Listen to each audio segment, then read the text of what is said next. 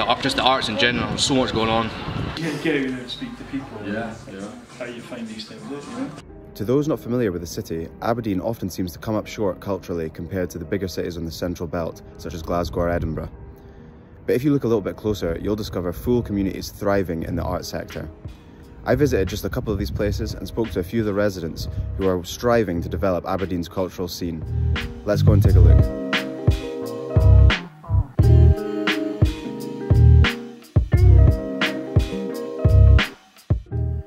In a city often judged by its granite grey buildings, the Nuart Festival has been working hard to add splashes of colour around every street corner.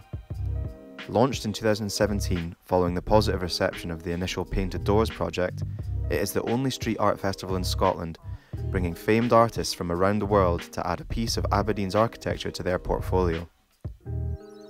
During the festival, which runs each summer, free walking tours can be booked, or you can set out to discover new pieces for yourself, which range from spanning full sides of buildings right down to tiny works waiting to be spotted. As you travel around the city's winding streets in search of painted doors and street art, you might stumble across live music ringing out from the green or the tunnels.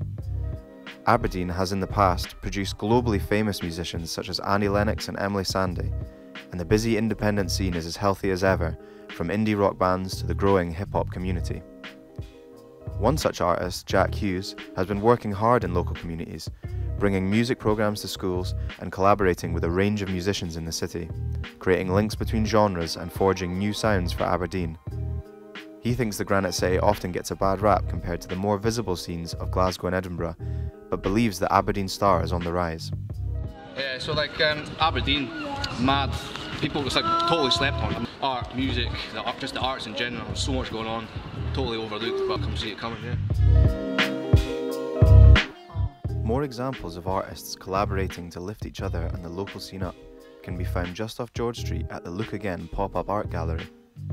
Since 2016, they have hosted a range of events and exhibitions throughout the year, all designed to connect, highlight and strengthen the creative sector in the northeast of Scotland. Most recently, Ica Headlam of Big Up the Deen and Gary Kemp of Doric Skateboards collaborated on a clothing capsule available here, celebrating a range of artists and local businesses pushing the culture forward in Aberdeen. Both of them work tirelessly to raise the profile of the arts in the northeast and dispel the myth that there's not much going on. I was guilty of it, like in years gone by, of Yeah. saying the same thing. But once you just get a peek under the hood and see things, you can kind of see there's a lot going on. You know, the art gallery, there's lots of kind of development going on in different parts of the city, so there's plenty going on. Yeah, I think that's the thing is, is like, you know, if we kind of delve a bit further actually what's happening, Yeah. kind of like, you know, engaging online. I mean, Yeah, there- yeah, there- fo- there- follow different things, yeah, Yeah. yeah. There's definitely a community feel. Situated in the city centre, the art gallery is the cultural hub of Aberdeen. Opening in 1885 and refurbished between 2015 and 2019, the art gallery recently was recognised as the best building in Scotland in the prestigious Royal Incorporation of Architects in Scotland Awards. Housing a range of works from the sculpture hall to paintings and prints, right through to film and visual work, the gallery hosts a fantastic collection spanning world famous artists through to the next generation of talent graduating from the city. On the top floor, you can also find the shop at the top, a space curated specially to highlight local artists working in ceramics, textiles, and accessories. With all this on display in the heart of the city, it's not hard to see why Visit Scotland recently stated that the art gallery is a showstopper attraction that will underpin Aberdeen's cultural renaissance. For those looking to delve a bit further into the history of the city and its occupants, Provost House is a must visit. Opened to the public in 2021, the historic building dating from 1545 houses a celebration of Aberdonian residents who give the city its culture. More than a hundred remarkable individuals from Aberdeen and the Northeast are showcased in interactive displays, including innovators, scientists, writers, sporting champions, and stars of stage and screen.